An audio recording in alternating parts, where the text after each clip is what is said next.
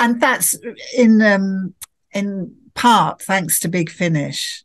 You know, they because they've taken her above and beyond and in many different directions all over the universe with several different doctors. So I've had much more of a life on audio than I had on camera.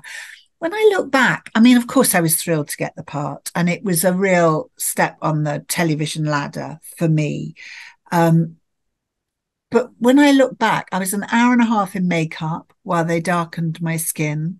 They gave me red contact lenses to make my eyes brown. Mm. Um, it was a costume that, you know, for all my feminism was rather questionable, but we are talking 70s here. I had a knife, which would probably never be allowed now. So, you know, when you look back, you just think I was, I, I was, it was of an era and I was incredibly lucky to have being given that job at that time. Um, and I was, of course, thrilled. Um, I sat down and I thought, I'm going to meet the Daleks, which of course I never did. I've only met them on audio.